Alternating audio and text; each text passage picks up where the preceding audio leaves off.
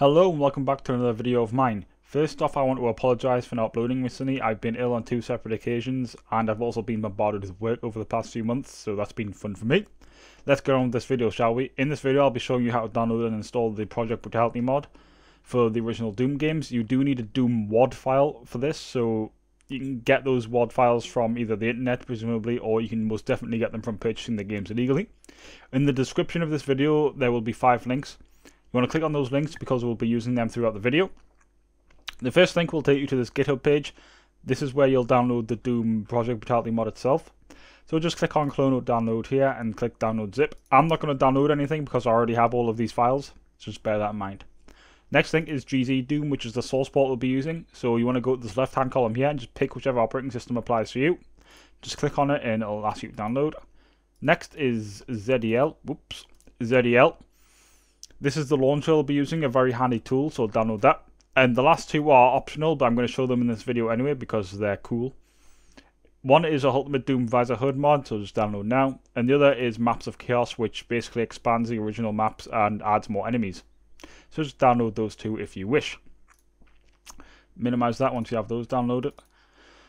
Next, you want to go into any directory and you want to create a folder or two folders to store Doom ZDL and all of the mod files themselves. You can put everything into one folder if you wish. However, I like to separate ZDL from the mod files just for organization purposes, really. Just to stop everything from getting cluttered. But I'm pretty sure you can put everything into one folder if you wish. So open the folder that's going to contain the mod files. Now you want to open another file explorer and you want to navigate to wherever you saved your mods to first off, we are going to do the Project Brutality files themselves. So just copy and paste the zip file you downloaded from GitHub, like so. And you want to rename the .zip to say .pk3. Now, from what from what I understand, a PK3 file is pretty much a zip file, but with a few subtle differences. I'm not too sure on what those differences are, but they're not major, which is why we can rename it and not experience any data loss. If you don't see the file extension, i.e. the .pk3 bit or the .zip bit, you want to click on this little arrow here. And you want to click on view and then you want to make sure you've got file name extensions ticked like I have. Next, let's do GZ Doom, which is the source port. So just highlight everything like that, like so, and just drag and drop. It could not be simpler. God damn it. Next, we'll do Maps of Chaos. You've got the normal version, the hardcore version, or the overkill version. The overkill version is the hardest, followed by the the um, hard, hardcore version. If I could speak, that would be nice.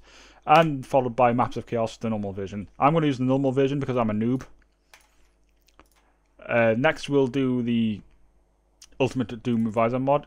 Just pick whichever ones you want. Obviously, you want the base one. Alt 1. Um, mugshot, screen effects, ambience.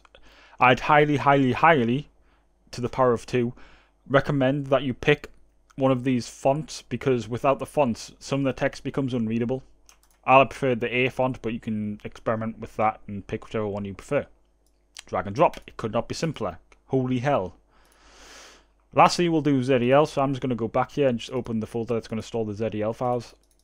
I'm going to open the zip file and again highlight everything, drag and drop. Excellent. We can close that off now, we don't need it. Right, you want to run ZDL and you'll get this wonderful, visually stimulating menu. It's, it's, beautiful. It's so undeniably raw. It's so good. I mean, you're not mistaken here. It's brilliant. I don't know what I'm talking about.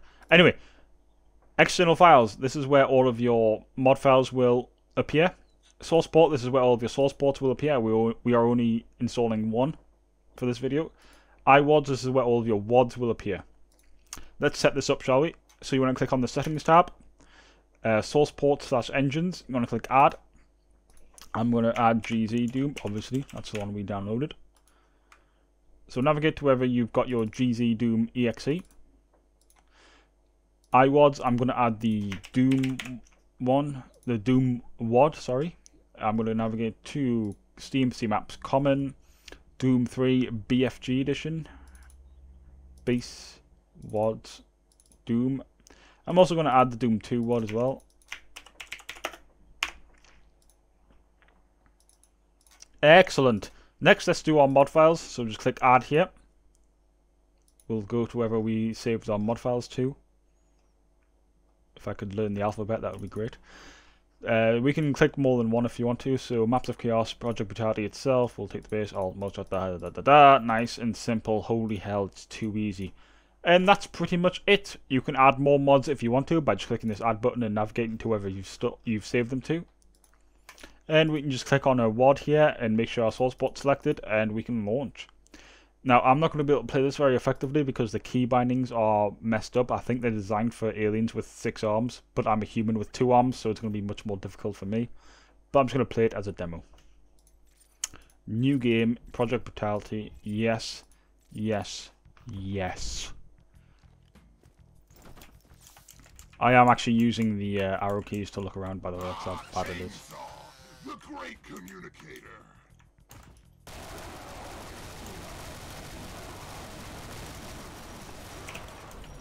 can't even reload. I've got... Oh, I'm dead. I'm dead. I'm dead. I can't even... Oh, no, no, no. Anyway, as you can see, everything works fine. Thank you for watching. And I can't look up. I can't... Oh, ah! Anyway, thank you for watching, and goodbye.